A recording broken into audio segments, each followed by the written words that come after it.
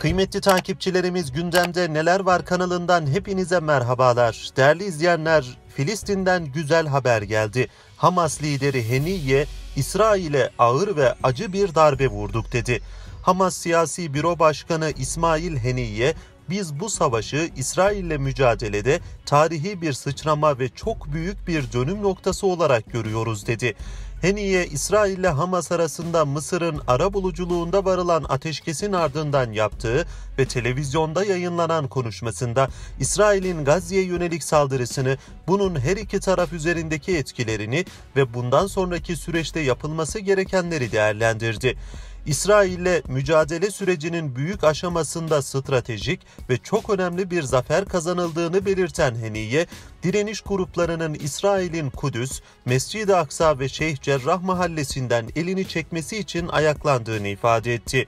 Heniye, başta Hamas'ın askeri kanatı İzzettin el-Kassam Tugayları olmak üzere Kudüs seriyeleri ve diğer direniş grupları düşmana ağır ve acı bir darbe vurdu. Bunun İsrail, onun askeri ve siyasi kurumları, toplumu ve hatta bu topraklar üzerindeki geleceği üzerinde derin izleri olacak ifadelerini kullandı.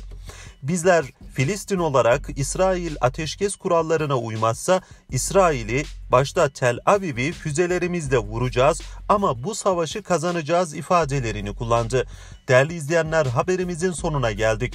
Bir diğer haberimizde buluşmak ümidiyle şimdilik hoşçakalın.